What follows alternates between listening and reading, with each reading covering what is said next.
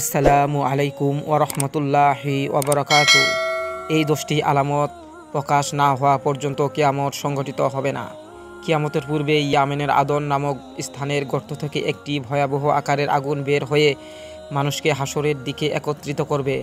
এ ব্যাপারে কতিপয় সহি হাদিস নিম্নে বর্ণিত করা হলো। মুসলিম শরীফে হুজাইফা রাদিল্লাহ আনু হইতে বর্ণিত, তিনি বলেন, একদা রসুল করিম সাল্লাহ আলাইসাল্লাম আমাদের কাছে আগমন করলেন। আমরা তখন কিয়ামত সম্পর্কে আলোচনা করছিলাম।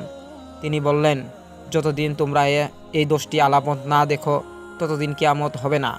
এক, ধোয়া। দুই, দাজ্জালের আগমন। তিন, ভূগর্ভ থেকে নিগৃত দাব্বাতুল আর্দ। দাব্বাতুল আর্দ নামক এক অদ্ভুত জানোয়ারের আগমন। পশ্চিম আকাশে সূর্যোদয়। পাঁচ, ঈশা ইবনে মারিয়ামের আগমন। ছয়, ইয়াজুস মাজুসের আবির্ভাব। সাত পূর্বে ভূমিধর্ষণ আট, পশ্চিমে ভূমিধর্ষণ নয়, আরব উপদ্বীপে ভূমিধর্ষণ দশ, সর্বশেষ ইয়ামান থেকে একটি আগুন বের হয়ে মানুষকে সিরিয়ার দিকে হাঁকিয়ে নিবে।